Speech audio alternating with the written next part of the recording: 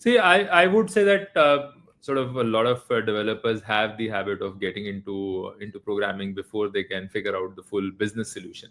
So, so my advice uh, would be to when you, whenever you're dealing with large unstructured data, that means it could be GBs or TBs of data that you're dealing with. The first aspect would be would be to sort of uh, figure out the data engineering piece of it. So that means, let's say, get your data right. Unless you can get your data right, there is no way you can uh, get your AI piece right. So, so there again, sort of uh, uh, the AWS tools like Redshift, Glue, they give you the capability to sort of wrangle with a lot of data. So if you have sort of loads and loads of data that you want to wrangle with, use Redshift, Glue to sort of uh, clean that up. Once you have relatively cleaner data, and and that all should be a part of planning before you start implementing.